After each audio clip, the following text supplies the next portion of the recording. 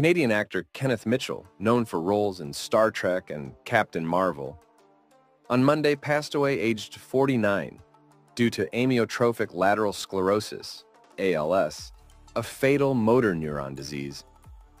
The disease, a slow degeneration of nerves of the brain, starts in mid-middle age, around 50s.